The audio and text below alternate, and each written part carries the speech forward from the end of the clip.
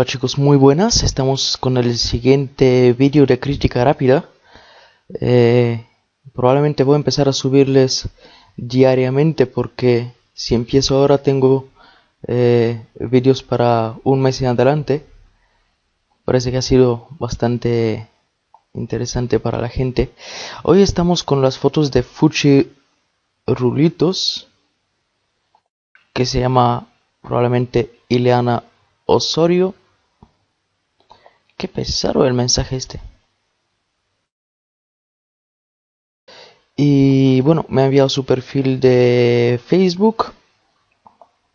Y simplemente voy a elegir algún álbum que sea más... Uh, ahí no. Algún álbum más reciente. Eh, con fotos. Para echar un vistacito a lo que a lo que hace. Bueno, aquí tenemos un álbum con 30 fotos. Y son fotos pues eh, no con, por lo visto no son con, con mucha, no sé, no son muy especiales, pero también expresan mucho de lo que, de lo que hace la persona. Así que vamos a verlas. Y empezando con algunas fotos en movimiento, o sea, en acción es algo que a mí me gusta mucho, de hecho es la forma a la que yo trabajo, eh, intento provocar un, movimiento, una, una acción y, y capturarla, no tanto posar. Algunos niños, bueno, vemos que son eh, fotos que no, no quieren expresar algo en concreto, pero a la vez pues hay una idea detrás de ellas. Eh, estoy buscando alguna más especial como esta por ejemplo es un buen retrato además el chico tiene una cara eh, no sé de estas típicas eh, bueno estas atípicas caras que le veis y pues expresa algo no expresa expresa algo diferente aquí otra foto de movimiento probablemente con con su madre hermana, será su madre. Este me gusta. Mm, tal vez le... Esta foto diría que está bien, pero a esta tal vez le añadiría un poquito más de contraste. O lo que más me gusta en realidad, en vez de añadir contraste, cuando me falta contraste, en vez de añadir simplemente contraste, suelo añadir negros mejoran muchísimo el contraste y hacen que las cosas sean más impactantes. Otra reacción interesante. Aquí me parece que va a usar una ISO alta, lo que no es malo. Eh, me parece que hay algo de ruido, no se, no se aprecia mucho porque al subir las fotos en Facebook pues baja bastante la calidad pero me gusta, me gusta cómo ha quedado.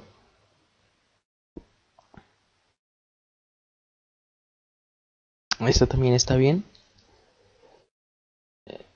Y esta, bueno, lo que estoy viendo yo hasta ahora, ah, esta es muy buena. esta parece, no sé, parece un anuncio o algo. Lo que estoy viendo hasta ahora es que no no busca mucho preparar las fotos, pero sí tiene, tiene una habilidad con, con eso de pillar el momento, ¿no? Eh, la acción. Ese tipo de blanco y negro me gusta. Eh, y una foto del mismo chico. Creo que es el mismo chico, no se me dan muy bien las caras. Eh, pero está muy bien porque otra vez pues no está posando, no está mirando a la cámara, eh, pero expresa el, el, mismo, la misma cosa, ¿no? Expresa como, como que está pensando, si volvemos a la otra foto del mismo chico, pues en este caso sí que está mirando a la cámara, pero también parece un chico que, que piensa que, que, que está más, eh, no sé, eh, expresa simplemente emociones, pensamientos y en esta foto mucho más todavía. Eh, aquí si hubiera añadido más negros todavía, pero bueno, este es mi estilo de hacer las cosas, lo que no significa que lo que estamos viendo está mal, eh, para nada. Eh, de hecho, esta foto me parece bastante, bastante buena. Mm, pero yo personalmente le añadiría más, más negros para aumentar el contraste.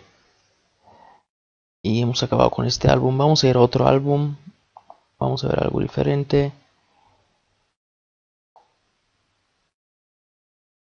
Eh, estamos en este.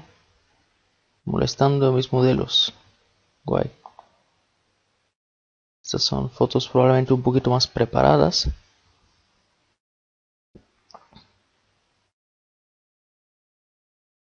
Este es interesante. Eh,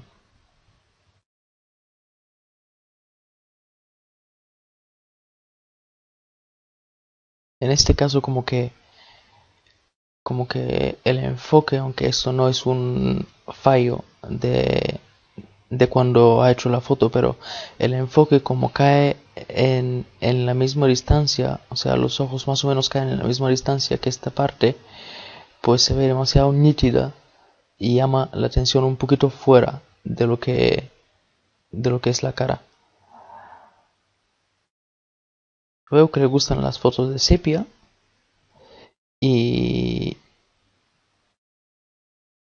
y no sé si muchas veces consigue este fondo blanco porque está en algún estudio con un fondo blanco o las consigue sobreexponiendo la foto o tal vez seleccionando el fondo y aclarándolo. No lo tengo muy claro pero está bien. Vamos a, otro álbum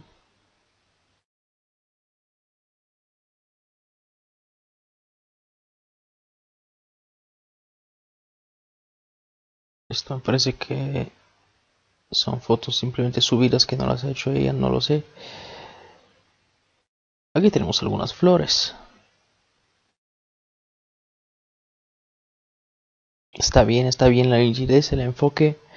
Veo que usa correctamente la, apertura para, para, crear este fondo borroso. Esta es bonita. Mm. Me gusta. Eh, tal vez a veces, eh, claro, normalmente queremos conseguir un fondo muy borroso y la mayoría de las veces lo máximo posible. Y en este caso está bien, pero en casos como este, al no ser que la intención haya sido eh, concretamente pues mm, que no se vea nada del fondo, eh, a veces es mejor cerrar un poquito el diafragma para que no que se vea, sino para que haya algo como esto, ¿no? Eh, pero tampoco digo que está mal, simplemente una, una nota. Ahí va, un conejo. Vamos a, a las demás.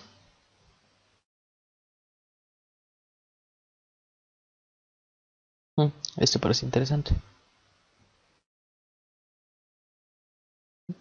Si una foto con espejo. A mí personalmente me encantan este tipo de fotos con, con espejo, en un espejo, enfocando en el mismo espejo.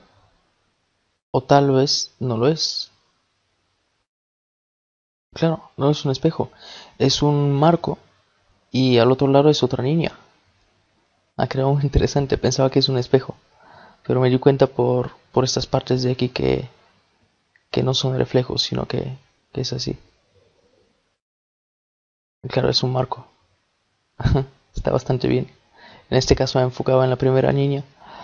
Eh, siempre es mejor enfocar en la persona eh, de la que vemos los ojos, siempre por lo cual pues esta diría que, es mejor que esta. Eh, en esta me gusta el enfoque porque veo que le gusta mucho el, estilo sepia, pero en este caso le ha dado un buen toque antiguo con, con este, con este efecto. Mm, tal vez aquí también diría que un poquito más de negros no le vendrían mal, simplemente porque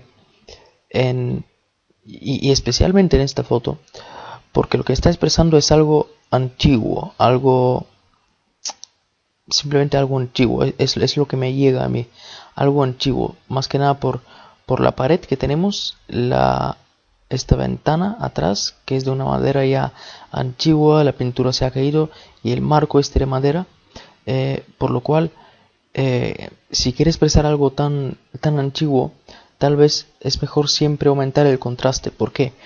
Porque mm, las fotos antiguas, ¿en qué se hacían? Se hacían en carrete, en, en película, con cámaras analógicas. Y, las, y, el, el carrete, la película, tiene un contraste mucho más alto normalmente que, que las imágenes que, que estamos acostumbrado, acostumbrados a ver hoy en día, por lo cual pues un poquito más de contraste no le vendría mal para reforzar eh, más todavía esta, esta sensación de algo antiguo. Esta foto es muy bonita, tal vez la cara está un poco sobreexpuesta, pero el fondo me gusta como está. Eh, lo que podría haber hecho es reducir un poquito eh, las luces altas. Eh, voy a abrir Lightroom un momento para enseñar lo que, de lo que estoy hablando. A ver si hay alguna más. También había un...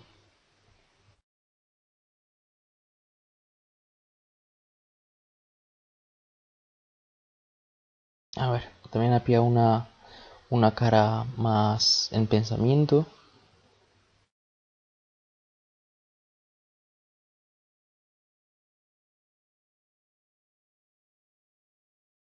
Aunque por otro lado, la falta de contraste, como en este caso por ejemplo, también eh, parecen fotos de, carrete, de, de película antigua.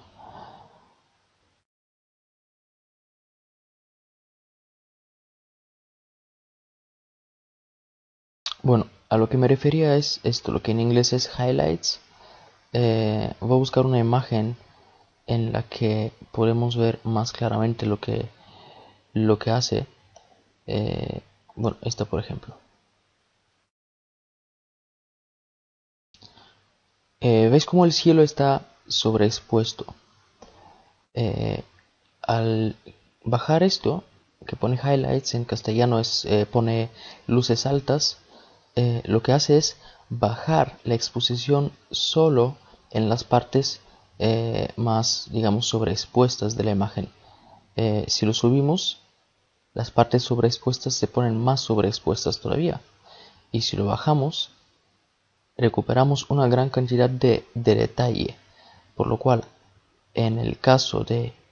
Eh, ¿Cuál era la foto? De esta foto, lo que podríamos recuperar es más detalles de la cara. Eh, lo que haría la foto un poquito más interesante y más completa. Lo habéis entendido, ¿no? Simplemente bajamos las luces altas. Y con esto ya eh, conseguimos este efecto que yo lo recomiendo pero tampoco digo que lo que ha hecho está mal porque puede que sea la intención que, que haya tenido ella. Bueno ya estamos en el principio. A ver si hay algún álbum más para echar un vistazo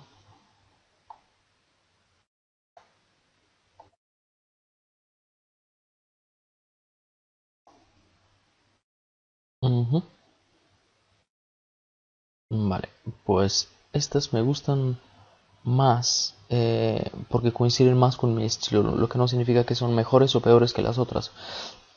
Simplemente a mí personalmente me, gustan más eh, porque tienen unos colores correctos y exactos. Eh, fijaros en esta, por ejemplo, tiene un contraste perfecto, ni más ni menos de lo necesario, según mi opinión. En esta tenemos lo mismo y tenemos un equilibrio de blancos o balance de blancos exacto que, puede que sea una casualidad porque la cámara ha pillado una parte blanca y ha configurado el balance de blancos según esta parte o puede que eh, ella pues lo ha hecho manualmente pero eh, el balance de blancos correcto crea unas imágenes muy interesantes. Muchas veces y voy a hacer un vídeo sobre el balance de blancos eh, pero muchas veces cuando tenemos un balance de blancos correcto eh, todo es correcto y todo queda bonito.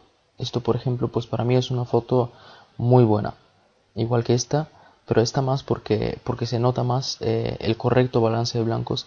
Y como podéis ver pues los colores son bueno aquí hay no sé si si ha fallado un poquito el enfoque o se ha movido algo porque no lo no veo las cosas muy nítidas. Lo que veo nítido es esto de aquí pero no esto eh, lo que sí que lo puedo considerar como un fallo de ella mm, si no me estoy equivocando claro eh, lo que pasa es que aquí veo muchos detalles y aquí eh, mucho menos, o sea, menos nitidez quiero decir.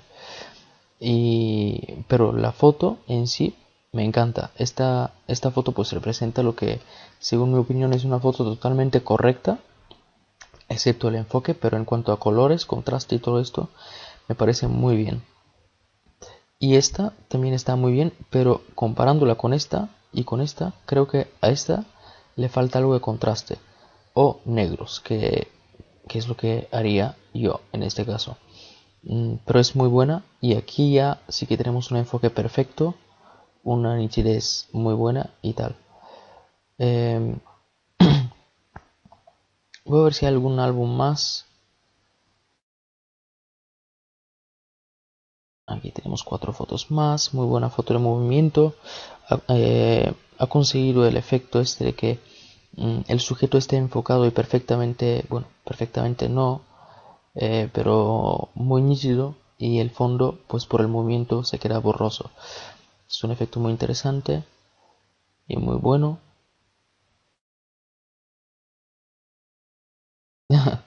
Qué gracioso. Y bueno, mm, vamos a las conclusiones.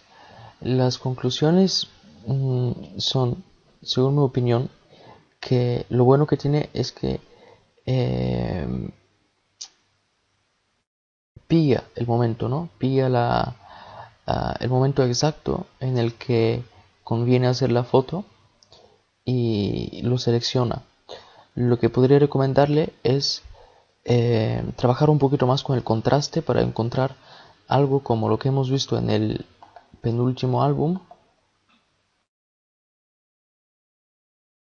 Y trabajar con los colores porque si, si consigue estos colores siempre y estos eh, pues estas son fotos eh, si yo la veo pues si esta foto estuviera correctamente enfocada pues yo diría que es una foto de un profesional ¿por qué? pues porque técnicamente es muy buena visualmente también o sea la composición y todo a mí me, me encanta eh, entonces yo le recomendaría trabajar un poquito más con los eh, colores, el balance de blancos y eh, el contraste. pide muy buenos momentos, pero el otro consejo que le puedo dar es que seleccione un poquito mejor las fotos. No quiero decir que, ha subido fotos, que, las fotos son malas, sino que hay algunas que tal vez, bueno, fijaros por ejemplo, eh, aquí tenemos esta foto, es muy buena. Esta foto también. Pero si comparamos esta foto con esa, por ejemplo, vemos una gran diferencia de, interés. O sea, esta es mucho menos interesante que esta. Entonces, pues, si aquí tenemos... Eh, ¿Cuántas fotos son? No lo pone aquí, lo pondrá aquí. Vale, si aquí tenemos 30 fotos, si seleccionamos en vez de 30, eh, borramos todas las que no están perfectamente enfocadas, todas las que no están perfectamente expuestas y tal, y nos quedamos en vez de 30 con 7 u 8 fotos, la impresión que va a tener una persona al ver estas fotos, este álbum eh, en general, va a ser muy diferente. Va a ser muy diferente porque va a ver solo las fotos buenas. No penséis que los mejores fotógrafos del mundo sacan siempre buenas fotos. No, para nada. Ellos también sacan fotos como esta. Ah, bueno, esta no está mal, pero quiero decir como eh, esta, por ejemplo, que está un poco movida. Los mejores fotógrafos del mundo también sacan fotos de este tipo. Lo que pasa es que no las publican. Eh, publican solo las, las mejores. Y eso es lo que puedo eh, decirle a Fuchi y lo que puedo recomendarle. Espero que mis consejos eh, le ayuden a, mejorar más todavía y, y a seguir adelante. Esta foto también es muy buena, se me ha olvidado mencionarla. Ah, y un último consejo, la marca de agua que pone, eh, tal vez lo que se podría hacer es eh, hacerla siempre igual y crear un fondo de la marca de agua, no un fondo eh, estático, sino como una sombra clara o oscura que lo que va a crear es que en cualquier foto que pongas la marca de agua siempre va, va a estar ahí. Por ejemplo, en este caso, pues lo que he notado es que tú muchas veces la, haces, mm, la conjugas con, con los colores o con la composición de la foto. Esto lo hacen muchos y yo personalmente no lo recomiendo porque al fin y al cabo lo que quieres mostrar no es la marca de agua, lo que quieres mostrar es la foto. No es el caso porque la marca de agua es bastante pequeñita, yo diría que es del tamaño eh, más correcto. Mm, pero lo que sí que podrías hacer es ponerla siempre en el mismo sitio y crearle una sombra detrás con la idea de que eh, se vea siempre, da igual eh, qué, colores hay en la misma foto detrás de la marca de agua. Esto es lo que le puedo recomendar. Y este es el fin de esta crítica rápida. Espero que os haya gustado y quería agradecer a todos los que eh, apoyan el proyecto de Foto Escalera y comparten los vídeos y eh, no se saltan los anuncios de, de, YouTube porque esto realmente apoya muchísimo el proyecto. Esto ha sido para hoy y nos vemos en el siguiente vídeo. Hasta la próxima chicos. Chao. Si te gusta la serie de vídeos de crítica rápida, te animo a que envíes un enlace al correo crítica.fotoescalera.com y Em, simplemente me tienes que enviar un enlace a tu portfolio, tu página web, tu página de Facebook o algún sitio donde tengas unas cuantas fotos bien ordenadas. Eh, yo las voy a mirar y voy a grabar un vídeo igual que este, eh, dándote ideas de cómo puedes mejorar, ideas de cómo puedes cambiar algunas, algunas cosas que tal vez no influyen muy bien a tu portfolio o eh, simplemente diciéndote lo, lo que haces bien y mal. Eh, siempre es una crítica constructiva y no destructiva, por lo cual te animo a participar. Puedes enviarme un correo con tu, con tu enlace en crítica.fotoescalera.com.